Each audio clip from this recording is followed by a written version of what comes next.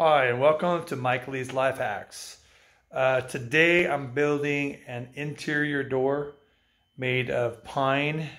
Um, it's going to replace just a standard door to give it a rustic look. So I'm going to teach you today how to make your new door look old. All right, so let me show you what I've done so far in building this. So far, I have I used one by sixes. This is tongue and groove. That would be the whole backside. So I built the whole backside with tongue and groove, one by six pine. And then I used a one by six board for the side pieces. And a one by six for the center.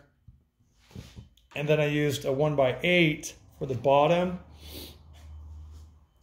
and the top piece. Um, and then I cut out this decorative piece here to give it a, uh, a nice uh, custom look. I have already routed all the edges using a Roman uh, ogee bit. Gives it a nice finished interior look. And then now I am, now I'm distressing it. So what I started off doing was I've taken the chisel and the hammer and I'm just going to work on this stuff. I just hammer it in, hammer it down, chip it out, hammer it down, chip it out, hammer it down, chip it out. I do that all the way around. You want to have a nice variation in the, in the sizes to make it look like this is an old board. It was hand hewn. And then what I did was I went back with both sides of the hammer. Okay, I used the claw side, just put the marks all over.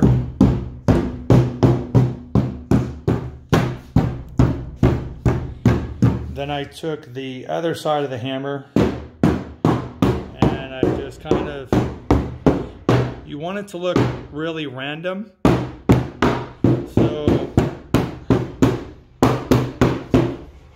Try not to follow any kind of pattern. Just do it very random. Make sure you work all the way around each edge. Uh, some people may have a tendency of working right up through the middle. You want to try to avoid working up the middle. You want to get all the way to the edges to make it look like this log has been used and abused over time. Now what I'm going to do I'm actually taking my angle grinder. And for this one, you want to kind of work with the grain to make it look like uh, there's some kind of an issue with the wood. So you can see I've already started here. I just put a couple of grinds in with the with the angle of the wood. You don't want to go cross grain. Cross grain is going to give it kind of an unnatural look. I mean, you could. I mean, random is good, but I've found that Going with the grain when you're using the angle grinder and cuts actually gives it a really authentic look. So let me go ahead and demonstrate what I'm doing with the angle grinder so you can see.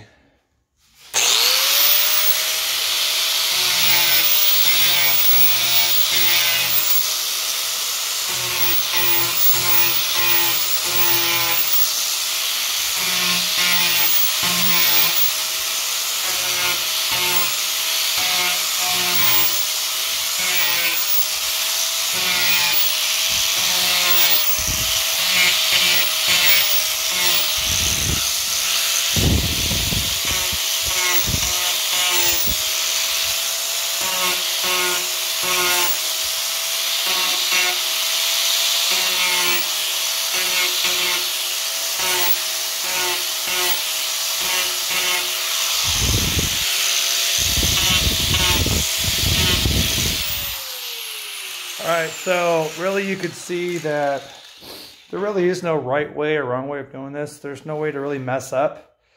In my opinion, the more random it looks, the better. Um, so once again, you can see my cuts. Try to make them random. I really like the grooves in there. It gives a whole different flavor to it. Makes it look like somebody messed up with a saw or something. I'm not going to score or do anything with the uh, inside because this board is a little bit thinner. It is one by, but however, it is tongue and groove, so I don't think it's quite as uh, sturdy. So I'm actually going to use the outside to make it look like it was from hewn logs. And then, um, yeah, we'll go from there. So I got a lot of stuff that I'm doing right now. I'm, I'm doing a lot of uh, welding projects. I'm doing a lot of wood projects. I'm going to be building some wood beams here uh, probably within the next week. So stay tuned. Make sure you hit that subscribe button and uh, peace out and God bless America.